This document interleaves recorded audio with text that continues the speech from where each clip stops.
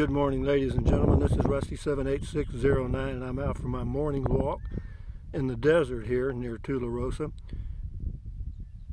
New Mexico. And in the middle of nowhere, I see this little this little plant trying to trying to exist.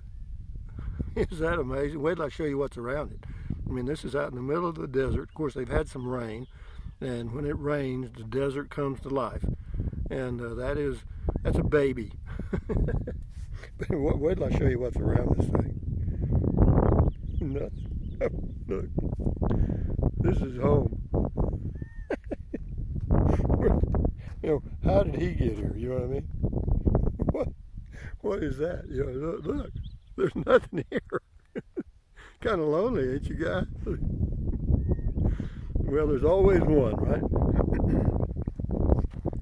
Well, anyway, Mr. Little Guy, Mr. Little Plant Guy, I wish you the best, and I don't know what you're going to be, but uh, you look like you're going for it.